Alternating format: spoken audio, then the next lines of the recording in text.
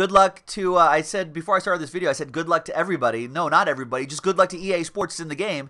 Eric bought all the spots. It's a personal box for him. It is the last box of 2018 Leaf Valiant football. Last box of this case. So the next box will be from a fresh case. And then we have one more case, and then that's it. So big thanks to Eric for getting into this. We are going to do a randomizer because I'm just curious as to what uh what his last spot mojo will get. EA also mentioning in the chat right now that number 11 was his jersey number. And then box 11 is the last box remaining. So he had to go with, go for it. And I guess EA, is it technically your birthday already? For me it's not. For you on the on the Eastern time zone, I think it technically is. So happy birthday. All right, here we go. We got Sam Hubbard, Valiant autograph, 13 out of 60.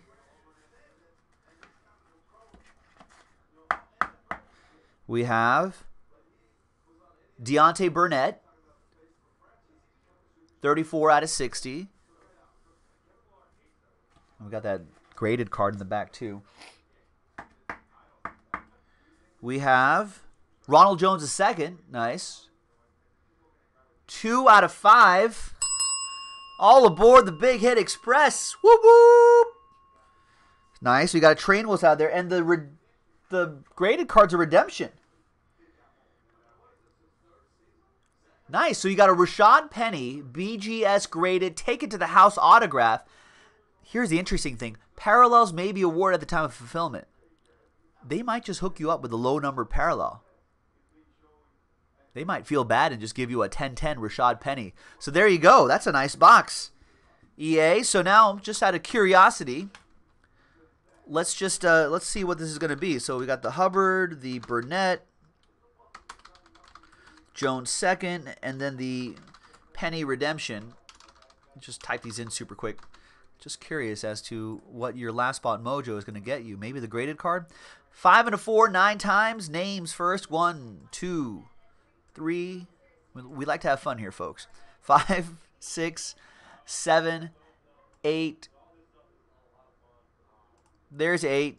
And ninth and final time. All right. So the last spot mojo's on the bottom.